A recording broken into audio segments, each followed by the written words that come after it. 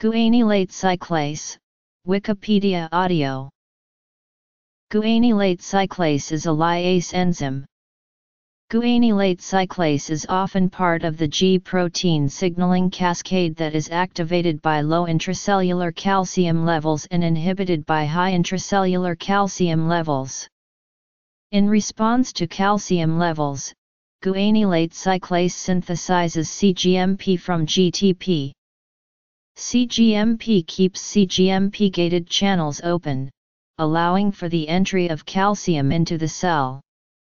Like CAMP, CGMP is an important second messenger that internalizes the message carried by intercellular messengers such as peptide hormones and NO, and can also function as an autocrine signal.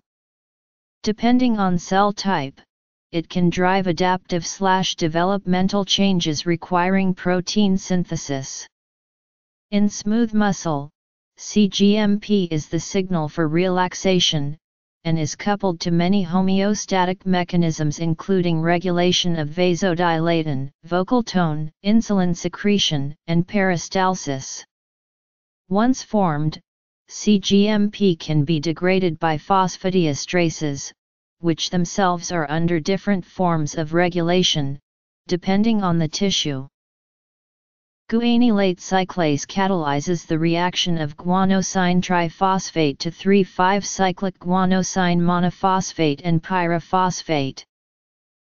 GTP Reaction CGMP Guanylate cyclase is found in the retina and modulates phototransduction in rods and cones.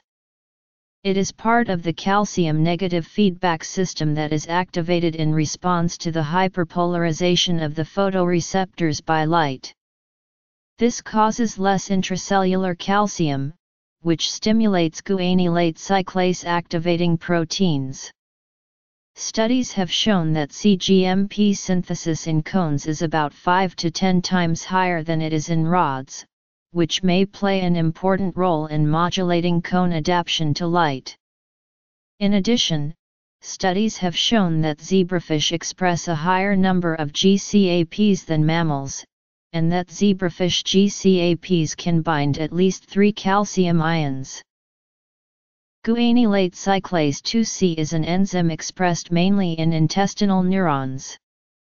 Activation of GCC amplifies the excitatory cell response that is modulated by glutamate and acetylcholine receptors. GCC, while known mainly for its secretory regulation in the intestinal epithelium, is also expressed in the brain. To be specific, it is found in the somata and dendrites of dopaminergic neurons in the ventral tegmental area and the substantia nigra. Some studies implicate this pathway as having a role in attention deficiency and hyperactive behavior. Soluble guanylate cyclase contains a molecule of heme, and is activated primarily by the binding of nitric oxide to that heme. SGC is primary receptor for nitric oxide a gaseous, membrane-soluble neurotransmitter. SGC expression has been shown to be highest in the striatum compared to other brain regions and has been explored as a possible candidate for restoring striatal dysfunction in Parkinson's disease. SGC acts as an intracellular intermediary for regulating dopamine and glutamate. Upregulation, which creates neuronal sensitivity, of the CGMP in a dopamine-depleted striatum has been associated with the symptoms of Parkinson's. Increased intracellular CGMP has been shown to contribute to excessive neuron excitability and locomotor activity. Activation of this pathway can also stimulate presynaptic glutamate release and cause an upregulation of AMPA receptors postsynaptically. There are membrane-bound and soluble forms of guanylate cyclases. Membrane-bound guanylate cyclases include an external ligand-binding domain, a transmembrane domain, and an internal catalytic domain homologous to adenylyl cyclases. Recently, a directly light-gated guanylate cyclase has been discovered in an aquatic fungus. In the mammalian retina, two forms of guanylate cyclase have been identified, each encoded by separate genes, RITC1 and RITC2. RITC1 has been found to be expressed in higher levels in cones compared to rod cells. Studies have also shown that mutations in the RITC1 gene can lead to cone rod dystrophy by disrupting the phototransduction processes. Cone dystrophy is a retinal degradation of photoreceptor function wherein cone function is lost at the onset of the dystrophy but rod function is preserved until almost the end. COD has been linked to several genetic mutations including mutations in the guanylate cyclase activator 1A and guanylate cyclase 2D among other enzymes. To be specific, GUCY2D codes for RITC1, which is involved in cone adaptation and photoreceptor sensitivity by synthesizing CGMP. Low concentrations of calcium cause the dimerization of RITC1 proteins through stimulation from guanylate cyclase activating proteins. This process happens at amino acids 817 to 857, and mutations in this region increase RITC1 affinity for GCAP.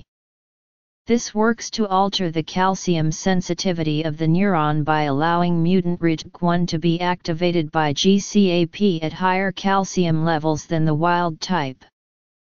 Because RITC1 produces CGMP, which keeps cyclic nucleotide gated channels open allowing the influx of calcium, this mutation causes extremely high intracellular calcium levels.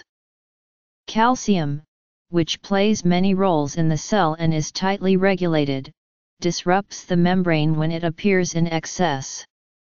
Also, calcium is linked to apoptosis by causing the release of cytochrome C. Therefore, mutations in the RITC1 can cause COD by increasing intracellular calcium levels and stimulating cone photoreceptor death. Effects Types Mutations